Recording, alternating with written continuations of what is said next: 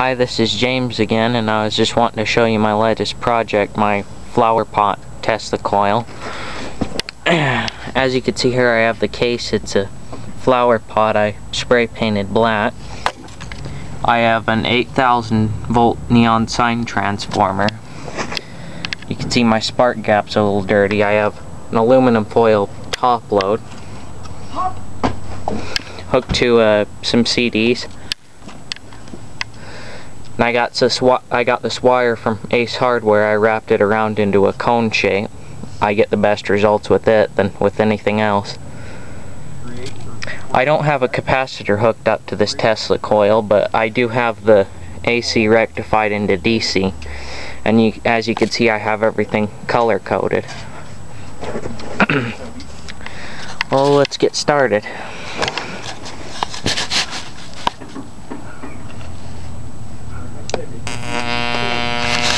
As you can hear it's a 60 hertz arc but without the capacitor but I'm able to adjust it with this knob that that's on this neon sign transformer.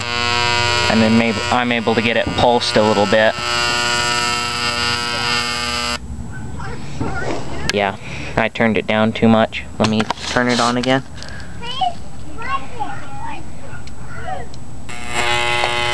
But basically, it pretty much sucks without a capacitor. But, I'm still getting some output from the top load, which is nice.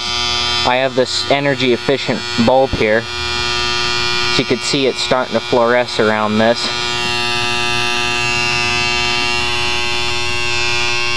I'm getting some power off this top load, but anyways, watch this.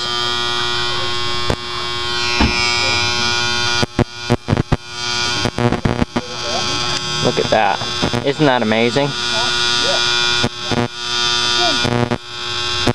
Anyways, I just, sorry, I apologize that I haven't really been doing many projects lately. I just wanted to show you viewers what I'm doing. My next video will be of my, my next video will be of my potato cannon. Thanks so much.